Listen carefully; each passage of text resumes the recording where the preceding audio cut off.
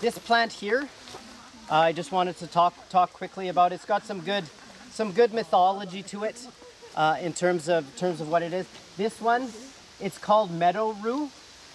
Um, so you can tell it looks like little. Uh, Shamrock. Shamrock. well, it's sort of like a shamrock. I always, I always, it looks like a little cat paw. It's a cat paw print.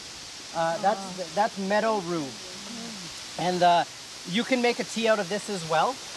Um, and but the the history behind it, the uh, the cool history is it's uh, the mythology behind it is if you're uh, quite taken aback by somebody or uh, you want them to fall in love with you, uh, what you do is you you, uh, you give meadow rue to somebody, and supposedly they will fall madly in love with you. Um, so the Aboriginals, the, the females would, would wear this in their hair, and they would make bouquets and stuff to try and get the men to fall in love with them, and they would they would or the men would give this to uh, to them as they as they and it would be a it would be a sign of their love.